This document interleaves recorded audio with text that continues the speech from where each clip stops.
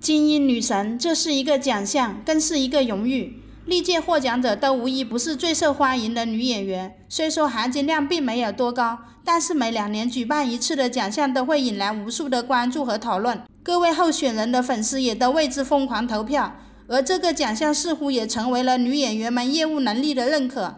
今年的候选名单也随之出炉，但是有几位入围的女星却引来了大家的怀疑：空有名气却无拿得出手的作品，或是演技尴尬。名不配位，又或是剧红人不红，这些女星的上榜也意味着这次金鹰奖的竞争还是较为激烈的，也说明大家有多想获得这个头衔。Angelababy 首先受到质疑，因为金鹰奖除了人气和颜值外，最看重的还是作品。而即使是上一届遭到群嘲的迪丽热巴，也是有拿得出手的作品傍身的。可 Angelababy 的出名完全是凭借综艺节目。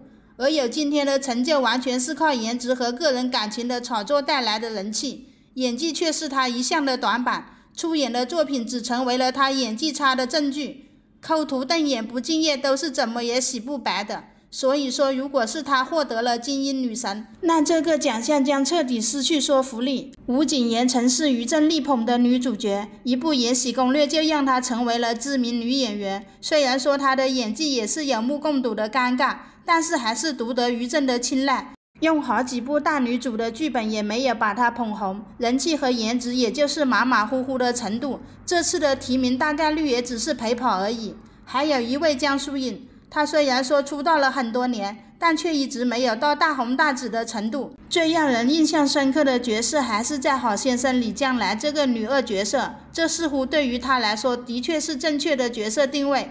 烈焰红唇的千金大小姐。的确比清纯学生更加适合他。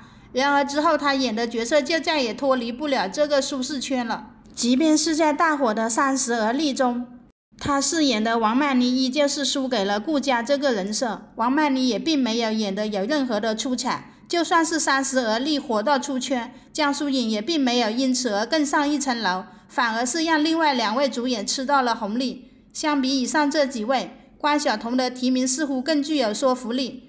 她从小就开始了拍戏之路，一路走来，大家都有见证，也获得了“国民闺女”的称号。演技有所磨练，更是科班出身，考入了北京电影学院，但却因为很多事情非议不断，演技也忽上忽下。不过资历在手，也是有资格竞争的。谭松韵在此次提名中的呼声算是非常高的，因为一张娃娃脸。